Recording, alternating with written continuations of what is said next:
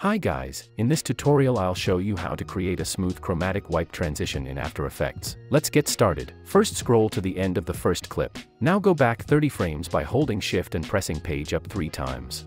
Move the second clip to that point so it overlaps the first clip by 30 frames. At the beginning of the second layer, apply the gradient wipe effect. Set transition completion to 100%, then click the stopwatch to add a keyframe. Now scroll forward to the point where the bottom clip ends and set the transition completion to 0%. Next set the transition softness to around 20%. Then go back to the start of the layer and apply one more effect, VR Chromatic Aberration. Set the fall-off distance to 30 and enable fall-off invert. Then click the stopwatch icons next to Aberration Red and Aberration Blue. Now go to the point where the bottom clip ends and set both values to 0.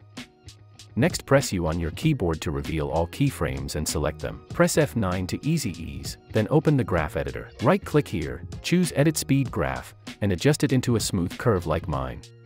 Now close the graph editor, enable motion blur on the layer with the effects, and let's preview it.